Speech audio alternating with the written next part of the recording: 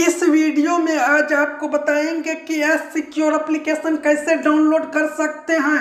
जी हाँ बिल्कुल सही सुना आपने एस सिक्योर। मैं आपको बता दूँ कि एस सिक्योर एप्लीकेशन के हेल्प से आप सैमसंग के एप्लीकेशन के कोई भी एप्लीकेशन को आप विदाउट किसी थर्ड पार्टी एप्लीकेशन के उसमें लॉक लगा सकते हैं। वो भी एस सिक्योर एप्लीकेशन सैमसंग का ऑफिशियल है। सो एस सिक्योर एप्लीकेशन को कैसे डाउनलोड करना है? इस वीडियो को देखने के बाद आपका पूरा डाउट क्लियर हो जाएगा।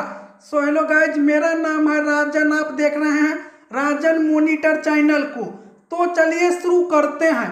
वीडियो शुरू करने से पहले आप लोग से प्लीज़ रिक्वेस्ट है चैनल को सब्सक्राइब करके बेल आइकन को प्रेस कर लीजिए, क्योंकि मैं आप लोगों के लिए रोज इसी तरह के इम्पोर्टेंट टॉपिक से रिलेटेड वीडियोज़ लाते रहता हूँ।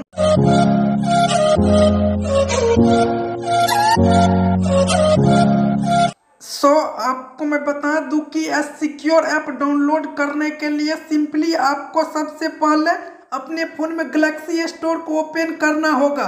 तो आइए हम गलेक्सी स्टोर को ओपन करते हैं और आपको अपने फ़ोन में ओपन कर लेना है।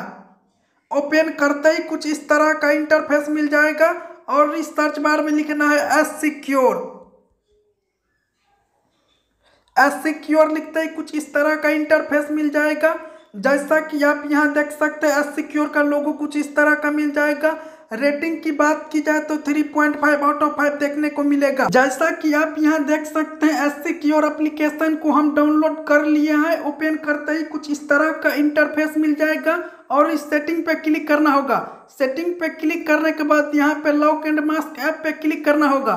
लॉक एंड मास्क ऐप पे क्लिक करने के बाद आपको यहाँ पे एक पिन ड्रॉ कर लेना है।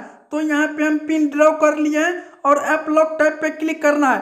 तो जैसा कि आप यहाँ देख सकते हैं, हम फेस लॉक लगाए हैं फिंगरप्रिंट भी लगा सकते हैं। तो यहाँ से बाइक हो जाते हैं। बाइक होने के बाद सिंपली इस लॉक ऐप पे क्लिक करना होगा। इस लॉक ऐप पे क्लिक करने के बाद इस ऐड पे क्लिक करना होगा। ऐड पे क्लिक करने के बाद आपके फ़ोन के बहुत सारा एप्लीकेशन देखने को मिल जाएगा। तो सिंपली यहाँ पे इस इंस्टाग्राम पे क्लिक कर देते हैं और इस डन पे क्लिक करना है। इस डन पर क्लिक करते ही आप यहाँ देख सकते हैं इंस्टाग्राम में बहुत ईजी में हम लॉक लगा दिए हैं।